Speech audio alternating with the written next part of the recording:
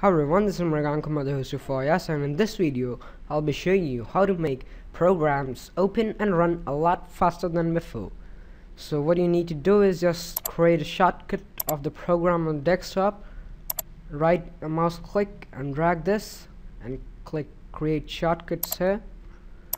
Now what you're gonna do is right click properties and in the shortcut tab you can see this is the target. After this you need to hit spacebar then slash and type prefetch is to 1 this code is also in the description. Just you need to uh, leave a space between these two otherwise this won't work. You click apply and ok and that's all.